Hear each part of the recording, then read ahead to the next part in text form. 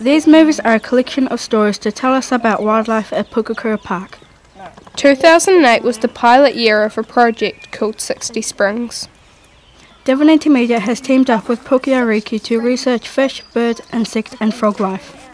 These videos were made by each study group as a record of their research. Our group was surveying the water clarity, the depth, and overall habitat of the fish. We used a long test tube to help us see just how clear the water is here. We found that the water was actually clearer than it seemed. Looking at the ponds, we thought the water was pretty disgusting at first, but in the test tube we could see it wasn't actually that bad at all. In fact, we rated the water quality between 85 and 95 out of 100. That's pretty clean despite the duck and fish poo. We measured the depth of the water because this will tell us what problems we might expect with the water flow. Some parts of the lake can clog up with debris. It's quite hard to see the fish in the park because the water is so murky.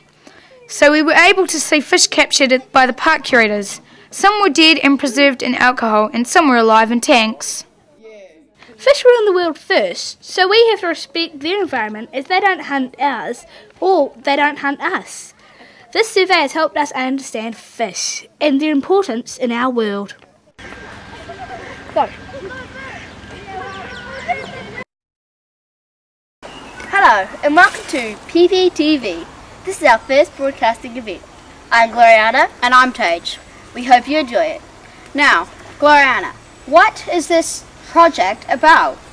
Well, we have been coming here for about maybe two months now and we have a look at all these insects and our main one is glowworms and we're trying to see if there is any glowworms in the park.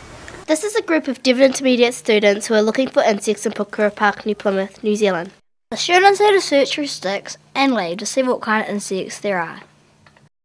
Then they had to identify them by looking in special books. Part of our project was seeing what the temperature of the air was at that site. We checked to see if the air temperature changes over time and see how the temperature affects the insects. This is Chris. What's your job at the park?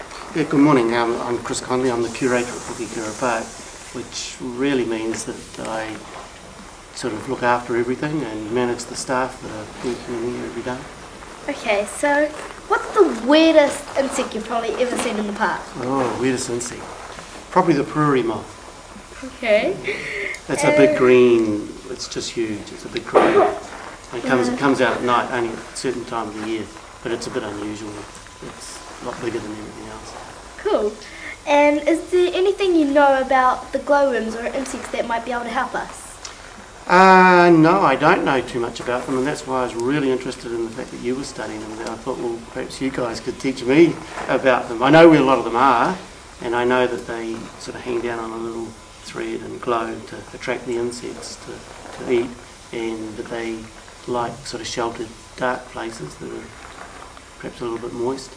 But no, I don't really know very much about them at all, so I'm hoping that uh, I'll learn a lot from you, and then that we can make sure that we keep the glowworms in the, in the. Okay, thank you. That was Chris Connolly from Pukekura Park. We're here at Pukekura Park on the 5th of September 2008 at the Frog Pond and we're surveying insects and listening for frog calls. That, what you doing? Um, well, I'm just surveying the bugs that we got because every second week we come here and just listen for the frogs.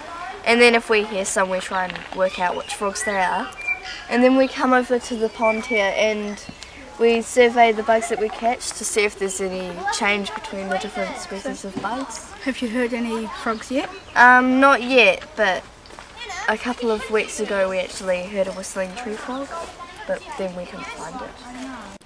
So far, we have heard only one frog call, and that was found by two girls, Chelsea and Hannah. This is where we heard it.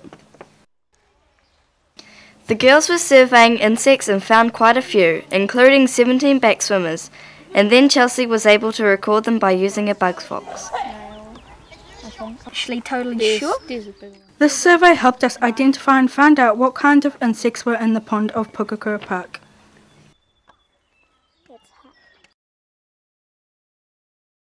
Pukekura Park is one of the most beautiful places to relax and have fun. You can guarantee that you will see lots of different varieties of birds and their magnificent habitats. We are a group of students from Devon Intermediate studying birds including ducks and the two Canadian geese. As you can see, the ducks are getting fed some bread by a man and his child, but this is not their proper diet. They should eat small water animals, plants, and insects like young beetles, bugs, and dragonflies. Maisha's just getting some samples off this berry tree thing, or we're not quite sure what it is, but yeah, I'll just come closer to it. There have been sightings in the orange and white flowers of little birds, possibly sparrows. We think they like the insects on the flowers. We learned from the survey that there are lots of different birds in the park. We cannot always see them, but you can hear them 24 7. We, we must protect these birds so other people can enjoy them. We hope you enjoyed our 60 Springs project film. We will be working on this project throughout 2009. Our class really enjoyed our time with Puke Ariki research staff and we look forward to more good learning.